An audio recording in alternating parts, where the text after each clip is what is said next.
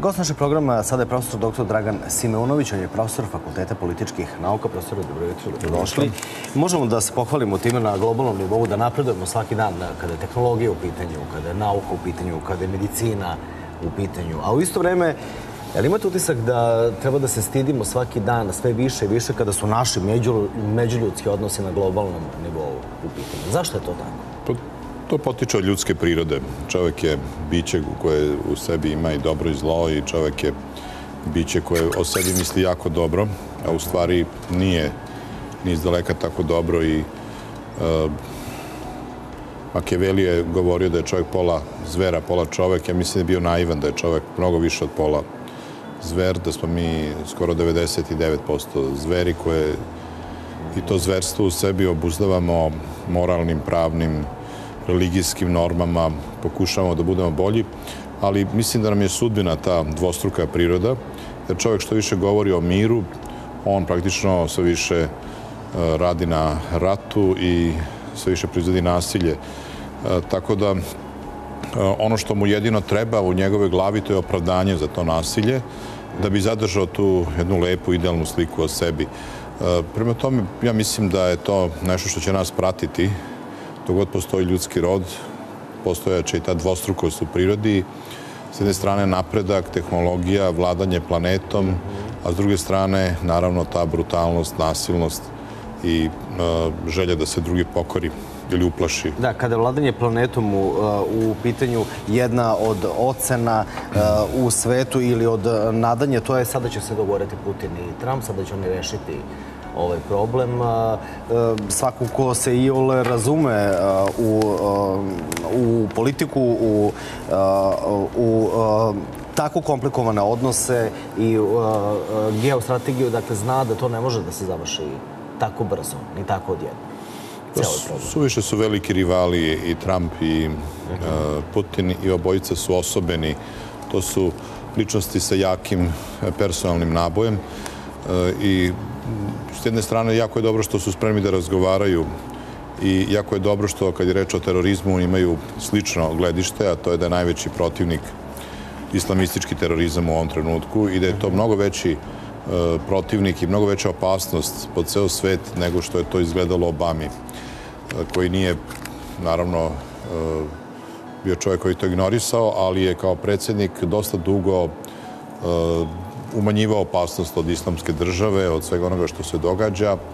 I evo sad vidimo da se ti akti terorizma događaju neprekidno, a da je možda Obama kao Trump, što će verovatno mislio o tome na drugačiji način, mi bismo imali već odavno uništenu islamsku državu i mnogo, mnogi život sačuvan. Da, to vas pitam zato što, evo, mediji pišu danas, zatreće ih Putin i Trump ujedinjeni, izbrisat ćemo teroristi sa lice zemlje, to je jedan od e, bombastičnih naslova do duše u tabloidima. Onda informer recimo piše Rusi tvrde ubistvo ambasadora e, Karlova organizovao NATO pakt i Putin baca vakum bombe na e, ISIS, istrebiću sve te džavole. Kako je ovo, kako vi vidite ovu navodnu poruku iz Rusije?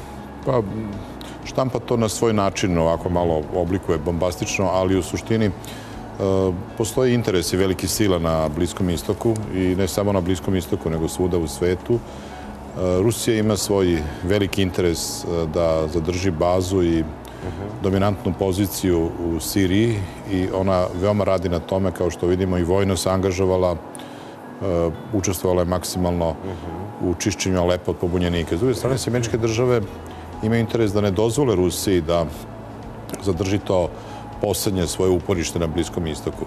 Tako da su to oprečni interesi i zbog toga će i odnosi Trumpa i Putina biti očigledno bolji nego e, što se to prepostavljalo ranije, ali s druge strane će e, ti odnosi biti daleko od idealnih, jer naprosto interesi njihovih država ih e, sučeljavaju na neki način. Prema tome, i Trump i Putin će ujediniti oružje. Ono je već ujedinjeno u borbi protiv islamske države, samo s tim što, naravno, Amerikanci nastoje da jednu vrstu pobunjenika koja je spremna da ide i protiv ruske dominacije i protiv Asada u Siriji podrže, dok Rusi baš tu vrstu pobunjenika tretiraju kao teroriste i jednako napadaju kao islamsku državu. I to je, ta, to je to, taj, taj nesporazum.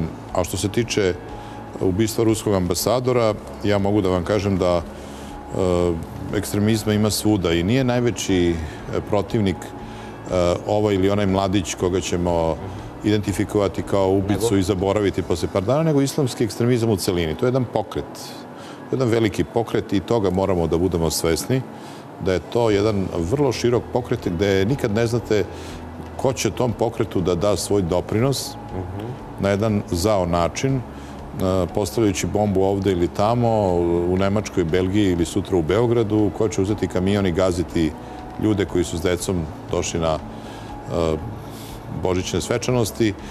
Dakle, islamski ekstremizam zahteva mnogo više od angažovanja policije. Zahteva ozbiljno angažovanje društva, velikih država, ujednjih nacija, on zaslužuje da bude tretiran. Ali na koji način? Kako praktično? Dakle, pa mora se učiniti prevencija. Da li Evropa ima snage da zajedno sa zemljama u okruženju nanese udarac terorizmu?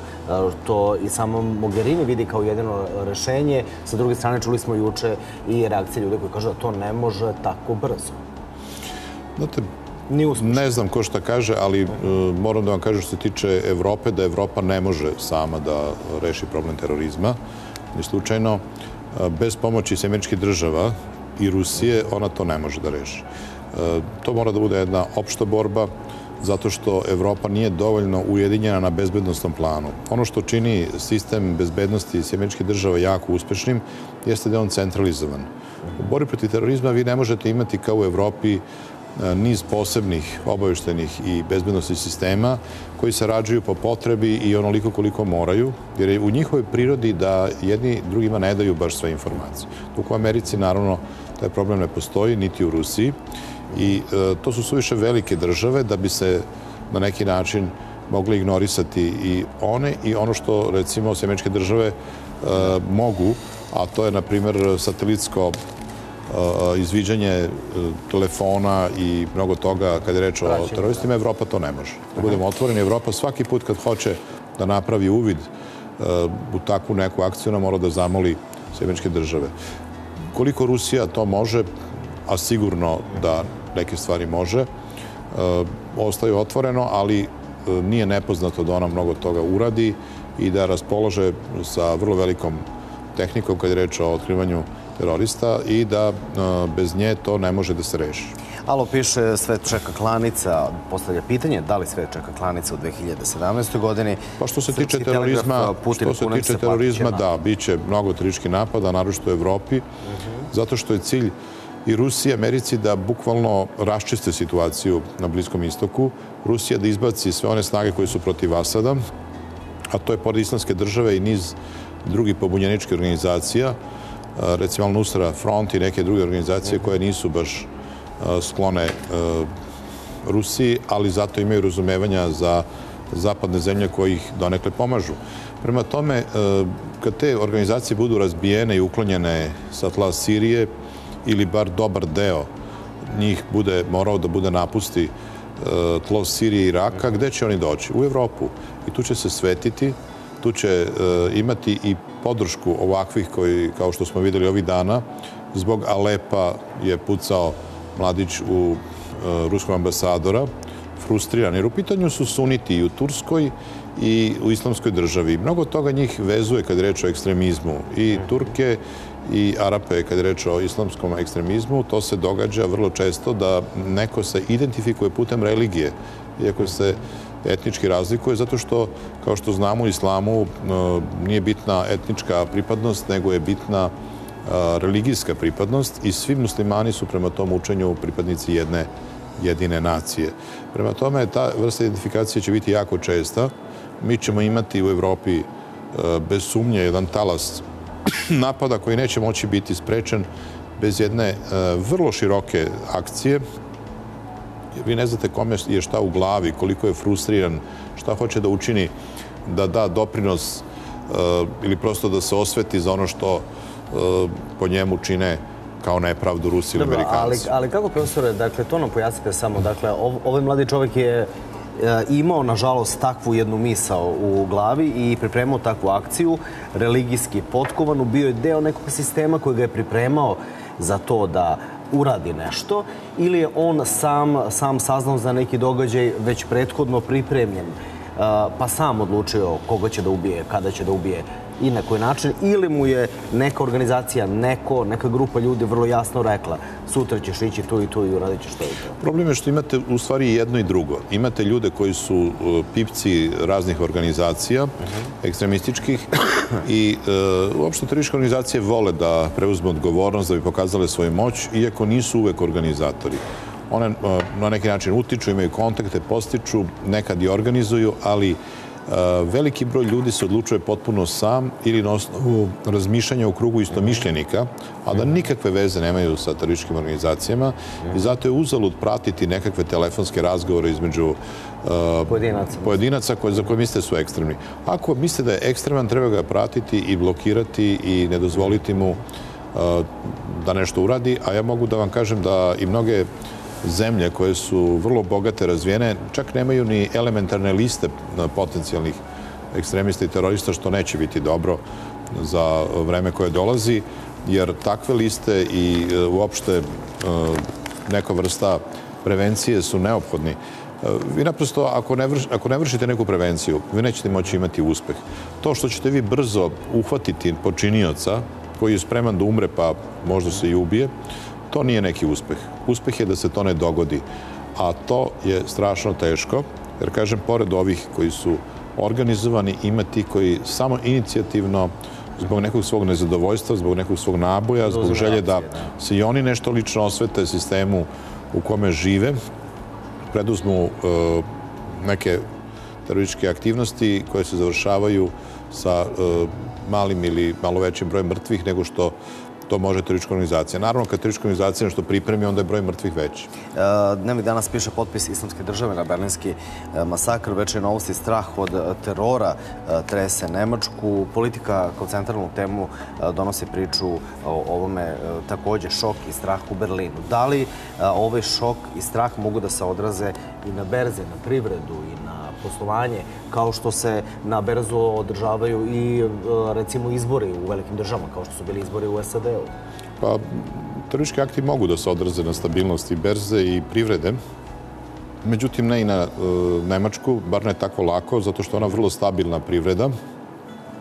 Ona je e, kao država, pre svega, izuzetno stabilna, e, takozvani DAX indeks, mhm. koji pokazuje stabilnost berze, pokazao je juče e, vrlo malo e, odstupanje od uobičajenog kad se to sve dogodilo i takođe je taj DAX indeks pokazao da i u svetu nije bilo nekih većih berzanskih poremećaja. Ono što e, je bio blagi poremećaj, ali blagi jeste pad evra u odnosu na dolar, ali ne prejak. Zašto? Zato što je nemačka privreda toliko jaka da bi morao jedan prosto talas e, terorističkih akcija da se vrši neprekidno, da se poremeti e, i nešto na berzi i nešto kada je o investicijama, ulaganju, izvozu, uvozu i slično.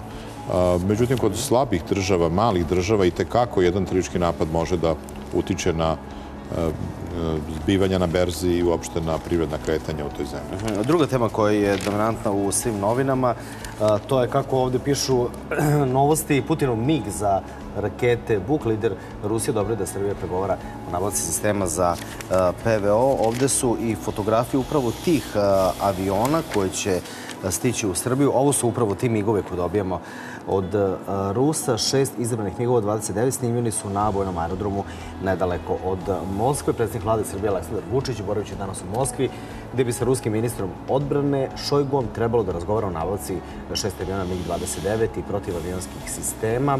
Kako vidite ovu posetu, koliko je ovo važno za stabilnost ovog e, dela Evrope, ne samo u smislu odbrane neba, u fizičkom smislu, nego u političkom smislu, ovo znači i šta?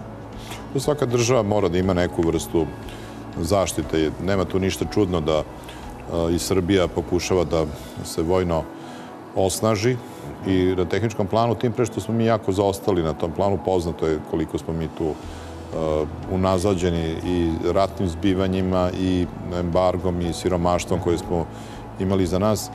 Tako da je sve to dobro došlo, a naš sistem odbrane je zasnovan upravo na migovima, naši piloti su obučavani za te tipove aviona. Mi smo van vojnih formacija i kao takvi možemo birati i oružje tamo gde je povoljnije, primati naravno i poklone i sve ostalo, ali to je kad se gleda čisto sa vojno-tehničke strane. Kad se tiče politike, verovatno se za poklon nešto očekuje. To je sasvim prirodno i šta će biti i kako će biti, to je stvar političara.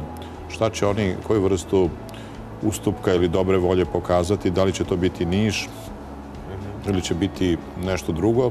To je sad pitanje pregovora vrha dva zemlje. Recite nam, dajte nam novogodišnju poruku, profesore. Razmišljaju ljudi da putuju negde, da otputuju, pa makar i do Beča, tu je blizu, pa se predomisle. Nećemo, sigurnije kod kuće. A ne možemo tako da živimo. Pa to jeste strah koji parališe. Kada reče o terorizmu, to je strah koji parališe zato što se terorizam odlikuje tom vrstom konstantnog izazivanja straha. To je ono da parališe sistem i da taj način izazove nezadovoljstvo građana i to nezadovoljstvo se posle okreće ka sobstvenim vlastima, sistemu i kažu niste u stanju da nam obezbedite siguran život, putovanja i ostalo. Ja mislim da će ljudi uvek putovati. Ljudi će uvek putovati, samo treba putovati pametno, ne ići na one destinacije, one zemlje koje su rizične, recimo ne treba ići sad tamo gde je rizično kao što je Turska, ali to ne vredi, naši ljudi će... Vidite da ne vredi. Će ići, pa ne, zato što naš čovek da te gleda gde je jeftinije, zato što smo siromašni u suštini kao društvo. Isto tako, zemlje koje su rizične, da kao što je Tunis ili neke druge zemlje na severu Afrike su isto tako rizične, ali isto tako nikakve problema nema da se ode do neke Grčke, Italije. Možda treba izbjegavati ove velike centre gde su na otvorenom praznici. Što tiče Nemačke, mogu da kažem da je bila vrlo sigurna zemlja, dok su imali veliki broj muslimana koji su bili Turci. Međutim, sada su se i Turci delimično radikalizovali, a dobili su i veliki broj ljudi iz Afganistana, Pakistana i arapskih zemalja kao što je Sirija i to onda i čini i Nemačku manje bezbednom zemljom nego što je ona bila proteklih godina. Prema tome, ako čovjek i putuje, ne treba da ne treba da ide na mesta gde ima veliki broj ljudi, ali u toj novogodišnjoj atmosferi svako će otići u Minhen da pogleda tu božanstvenu jelku na trgu, pa kako, mislim. Prema tome, bolje ne ići na takva mesta, nego ići na neka manje atraktivna mesta. Ostalom, da je svet osiromašio, ne samo na naše društvo, pokazuje upravo to da mi nemamo više novca. Kad kažem mi, ne mislim na Srbe, nego na svet. Uopšte, nema više velikih dugačkih putovanja. Ono što se može, ne samo kod nas, nego svuda u svetu su ta kratka dvodnevna, eventualno trodnevna putovanja sa jeftinim avionima i posjećivanje mesta koje niste videli. I to je, i to je nešto, i to je isto promena. Zadovoljstvo je u promeni. Da, vidite koliko lepša Vrnjačka banja, lepša nego pre. Pa pravo da vam kažem, ja mislim da u našoj zemlji ima toliko lepih mesta da odista možda čovek vrlo lepo danas da se provede i za novu godinu i bilo gde, zašto ići. U ostalom, ta ista Nemačka je postala jaka zato što njeni građani su vrlo disciplinovani i kupuju isključivo kad god mogu samo proizvode svoje zemlje. Znate, oni kad okrenu u svom posluzi neku stvar, oni gledaju da li je to napravljeno u Nemačkoj. Mi gledamo da li je napravljeno u inostranstvu. Mi ćemo uvijek tu kupimo nešto... E, mi gledamo da li je napravljeno u Nemačkoj, isto. I mi gledamo takođe da je napravljeno u Nemačkoj, ali ne samo u Nemačkoj. Tako da, malo tog ekonomskog patriotizma nam ne bi škodilo, a to bi nam donelo i više sigurnosti i za decu, naročito i porodicu. Hvala vam puno, posle što ste bili gost našeg programa. Sa nama je Mladen Mijetović. Mladene, reci nam, potvrdi nam informaciju da su dve osobe nastradale u posjede koja se dogodila jutro u Novom Sadu. Šta se desilo?